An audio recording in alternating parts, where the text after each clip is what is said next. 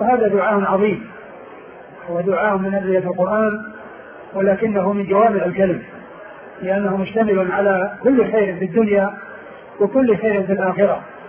لأن حسنة الدنيا كل خير في الدنيا هو من حسنة الدنيا. المال الحلال والمرأة الصالحة والأولاد الصالحين والصحة والعافية وما إلى ذلك كل هذا من خير الدنيا. وكل نعيم في الآخرة هو من حسنة الآخرة.